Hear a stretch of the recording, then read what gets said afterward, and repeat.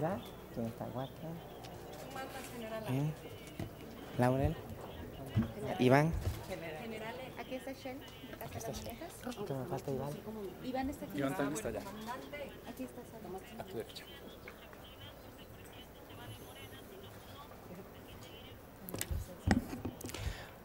Hola, buen día a todas, todos y todes.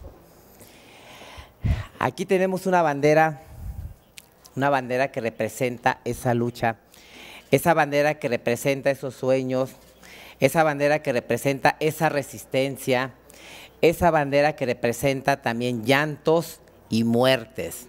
Sí, representa también esas muertes que desafortunadamente por discursos de odio han ido aumentando. No podemos permitir que estos discursos de odio sigan avanzando. Sabemos que la palabra es un arma de doble filo y cuando uno de esos filos va dirigido a una persona, a un sector, a una población, sabemos que es la antesala de los crímenes de odio. Estoy aquí con ese corazón, con ese corazón que es la sociedad civil, las colectivas, ese corazón del cual emana toda esta lucha, toda esa resistencia y que además nos permite y nos impulsa a seguir avanzando.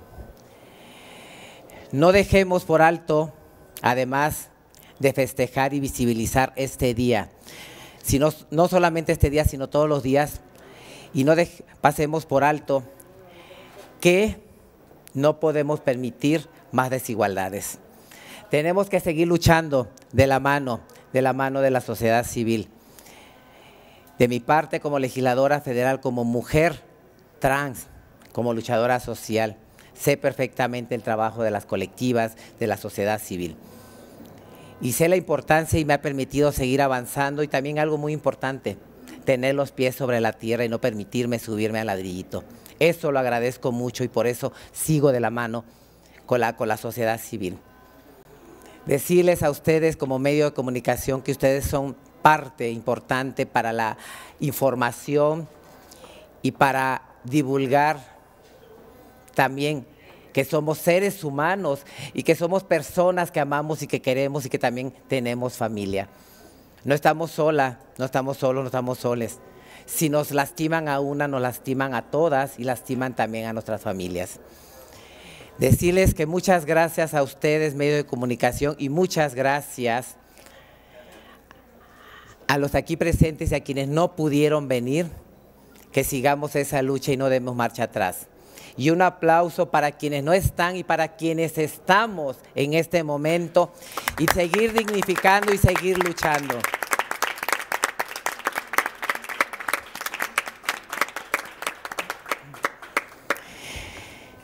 Le cedo la voz a Iván Tagle, que en lo personal me ha apoyado tanto, al igual que tantas y tantas personas, al igual que mi familia.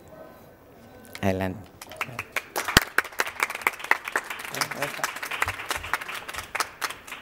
Muy buenas tardes a todas, a todos, a todes. Para mí, en verdad, es un honor, un privilegio tener este espacio. Eh, agradecer, por supuesto, la lucha de todas ustedes, porque es importante recalcar que es gracias a las personas trans, a las mujeres trans, que toda nuestra comunidad tiene derechos y eso es algo que nunca, nunca debemos olvidar. Este mensaje es para todas y todos y todes, esas jóvenes que están en sus casas y que han escuchado de este recinto discursos de odio. Ven a todas las que están aquí, no están solas, son personas importantes, valientes, brillantes, que merecen el máximo respeto y la máxima dignidad. Y nosotras, nosotros y nosotres no nos vamos a cansar nunca, nunca de luchar porque ustedes tengan un espacio, un México mejor, porque el mayor valor de una sociedad se encuentra en su diversidad. Las personas trans en este país no están solas y es una lucha compartida. Les agradezco, agradezco mucho su representación y por supuesto sus voces. Enhorabuena. Gracias. Iván, gracias, muchas gracias por tus palabras.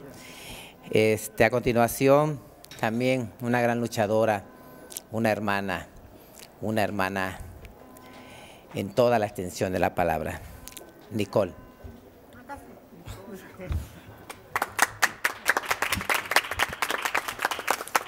Buenos días a todas, todos y todas. Creo que el día de hoy es sumamente importante que estemos en este recinto presentando esta bandera con más de 20 mil firmas, que se ha hecho gracias al esfuerzo colectivo de varias organizaciones y desde ya invitamos a demás organizaciones, organismos internacionales e instituciones a seguir sumándose a estos esfuerzos para generar un cambio y seguir luchando a favor de los derechos de las personas trans. Somos un grupo históricamente vulnerado, somos un grupo violentado y somos un grupo que ha sufrido diferentes discriminaciones y eso se debe determinar. Antes que ser personas trans, somos seres humanos y tenemos derechos y se nos deben de garantizar. Por eso aplaudo que se presente una bandera tan grande en este recinto el día de hoy como símbolo de nuestra presencia y de nuestra existencia y de nuestras vidas, porque vivimos y resistimos. Muchas gracias. Gracias, Nicole. A continuación, Andrés. Gracias, diputada. Muy buenos días a todas las personas que nos acompañan acá. Esta bandera es histórica. Esta bandera no solamente tiene a más de 20 mil personas que se han unido en solidaridad por las personas trans en México, pero también representa la lucha y esta bandera carga la energía y carga también todo lo hermoso que las experiencias de vida trans son. Vamos a seguir haciendo más ruido. Este no es el primer momento en el que vamos a justamente hacer un acto visible, porque las personas trans necesitan y requieren de visibilidad. Tenemos que posicionar esta agenda aún más en toda América Latina, en México. México sigue siendo el segundo país del mundo con mayor índices de violencia contra personas trans. Y sí, vamos a seguir haciendo más ruido, vamos a hacer aún más visibles hasta que logremos justicia e igualdad para todas las personas. Muchísimas gracias por estar acá y muchísimas gracias por haberse sumado a este acto histórico que hoy celebramos en el Día de la Visibilidad Trans.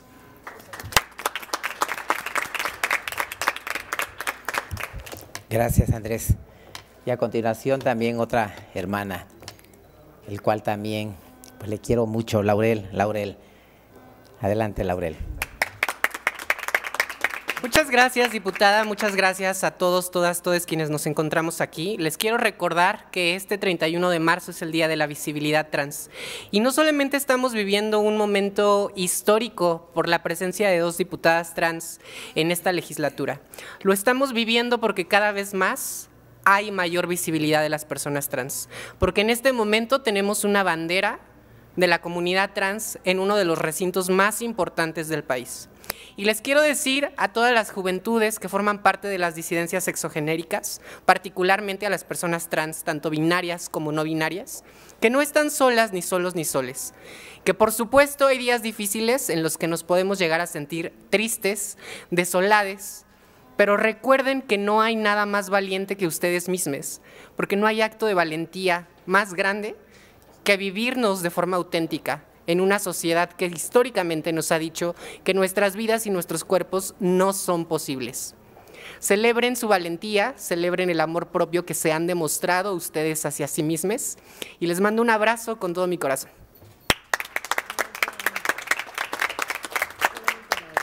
Gracias. A continuación, Chel. Gracias, diputada Selma.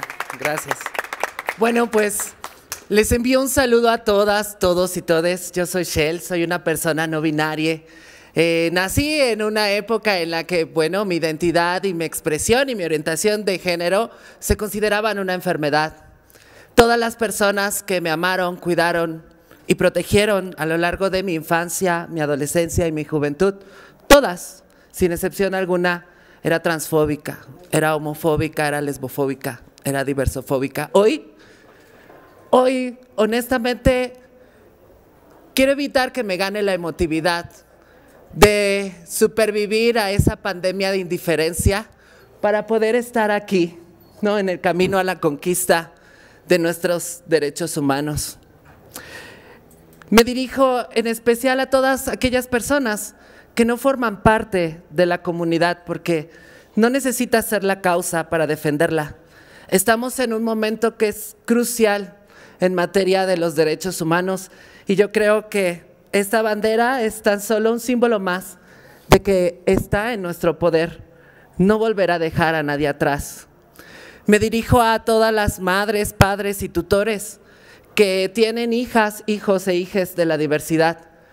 Les pido que se acerquen a las organizaciones, a las instituciones, que busquen información, que puedan abrazar y arropar a, todas nuestras identidades que estamos fuera de la heteronormativa del género es algo fundamental para nuestro desarrollo y para el desarrollo del país que queremos. Creo que justo en nuestras diferencias es donde encontraremos la fuerza y la base de todo aquello en lo que nos estamos convirtiendo. Que nadie se quede atrás. Busquen orientación. Y de verdad, si en sus corazones no hay un espacio para sus hijas de la diversidad, sepan chicas que no están soles. Y yo les invito a que se acerquen a Casa Hogar Paola Buenrostro o a Casa Hogar Caterín Daniel Márquez. Aquí, nosotras, sí les vamos a querer. Que nadie se quede atrás y hasta que nadie nos falte. Gracias, Shell. A continuación.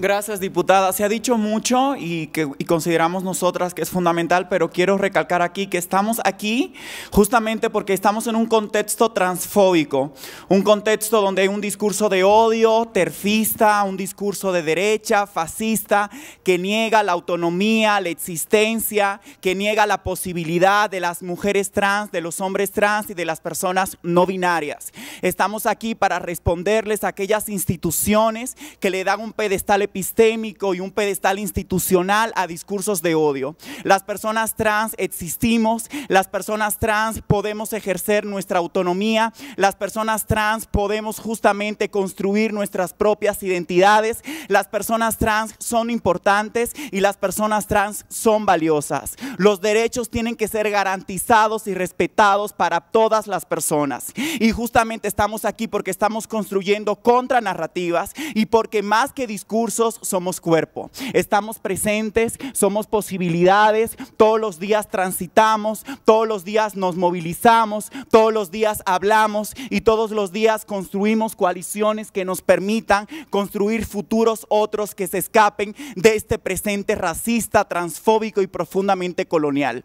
No quiero dejar de mencionar que la transfobia es un producto y es una herencia blanca, es una herencia de la colonialidad, porque antes del 1492 aquí había muchas cosas, éramos de muchas formas, existíamos en una variedad impresionante. Y justamente esta lógica heterocentrada que funda la familia nuclear en un sentido binario, donde solamente es posible ser hombre y mujer siempre y cuando se sea cis, es una herencia colonial. Y eso también es racismo. Y no solamente estamos visibilizando hoy a las personas trans, sino que consideramos que estas luchas justamente son imbricadas, nos atraviesan de muchas formas nos atraviesan de muchos sentidos y de la única manera que vamos a poder escapar y fugarnos de este sistema mundo que nos quiere muertas es justamente reconociendo esas diferencias, pero diferencias en un sentido en que nosotras podemos vivir de muchas formas y de diferentes lugares, ¿no? Entonces, hoy estamos visibilizando esto, pero quiero recordar también que la visibilidad no solamente se puede quedar en papel ni en notas, ¿no? La visibilidad se tiene que materializar en derechos, en acceso a la justicia, en derechos fundamentales y libertades fundamentales. Y en ese sentido, le agradezco muchísimo a todas las colectivas, organizaciones y personas que se sumaron a este proceso. Y le quiero mandar un mensaje. Ya le mandaron mensaje a los jóvenes, a las jóvenes, a los jóvenes, ya le mandaron mensaje a toda esa población trans que está allá afuera y que nos está escuchando, le mandar un mensaje a la sociedad en general, pero también yo le quiero mandar un mensaje a la derecha que cada día está sembrando su semilla transfóbica y de odio y racista. Estamos aquí, tenemos la palabra y sabemos disputar y no nos vamos a callar, vamos a responder todos los días, porque nuestra experiencia y nuestra vivencia es una realidad. Muchas gracias.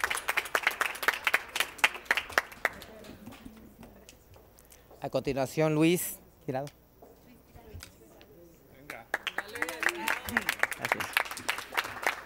Buenas tardes. Eh, no sé si se escucha. Ya. Buenas tardes. Eh, creo que estamos aquí en una de las casas del Estado y de la institución. Y creo que es muy importante el tener aquí enfrente una bandera con más de 20 mil nombres. Porque traemos 20 mil voces que están gritando y que están peleando por sus derechos todos los días aquí.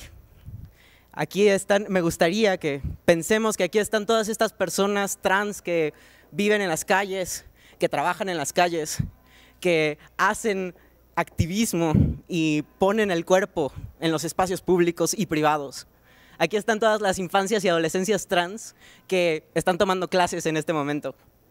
Aquí están todas las personas trans racializadas eh, que viven en un mundo blanco.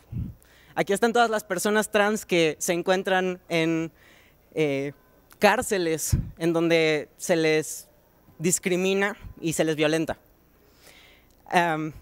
Me gustaría pensar que estamos dejando abrir las puertas para que todas estas personas puedan venir y sus voces realmente sean escuchadas, no solo en una bandera, pero en la representación que estamos hablando o de la que estamos hablando, no solo el 31 de marzo, sino todos los días. Entonces, aquí están todas estas personas trans y aquí está la resistencia trans. Si pudiéramos... Aquí está la resistencia trans. Aquí está la resistencia trans. Aquí está la resistencia trans. Aquí está la resistencia trans. Hoy y todos los días. Ser felices. A continuación, Almendra Negrete, que viene de Sinaloa, a darnos también unas palabras.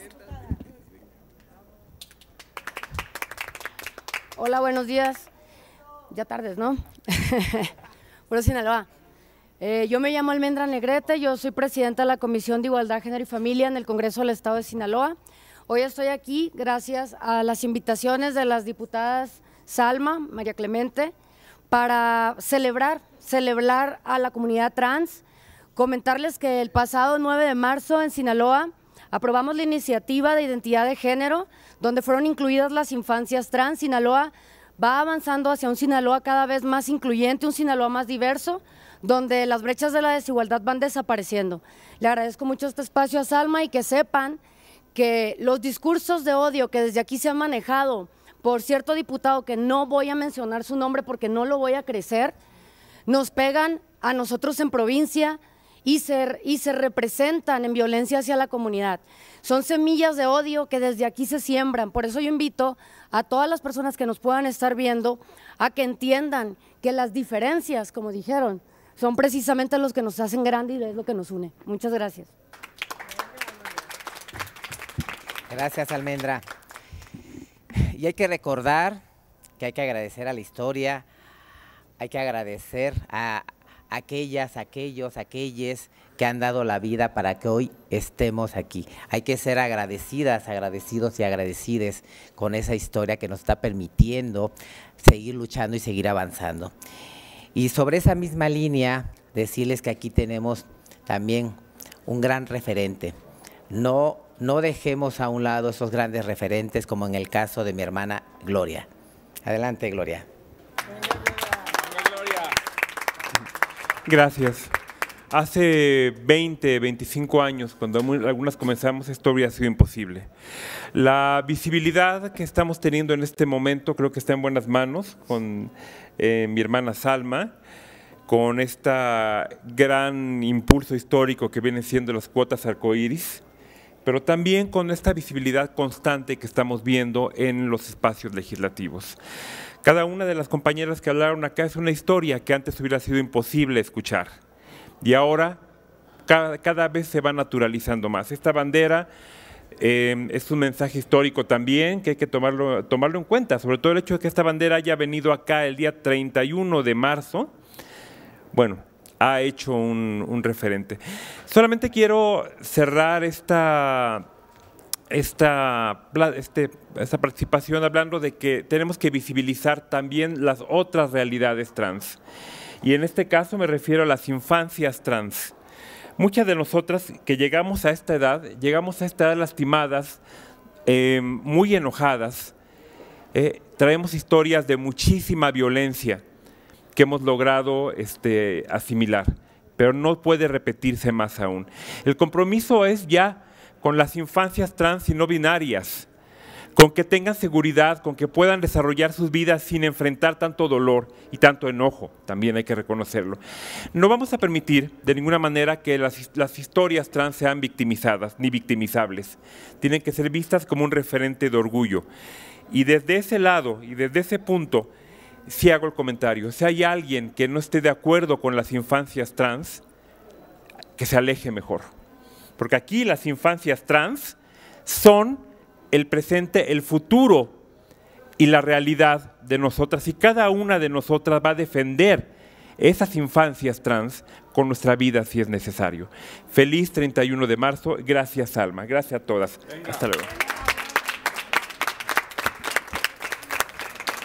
Gracias nueva cuenta a ustedes, los medios, gracias a las colectivas, gracias a quienes han sido parte y hemos sido parte y hemos ido poniendo a lo largo de la historia ese granito de arena y decirles que aquí está la resistencia trans. Aquí está la resistencia trans. Aquí está la resistencia trans. Y llegamos, llegamos para quedarnos y seguir avanzando hasta que la dignidad se haga costumbre. La foto, compañeras, compañeros. La foto. Ah, sí, unos aquí abajito. Véngase, mi diputada. La foto.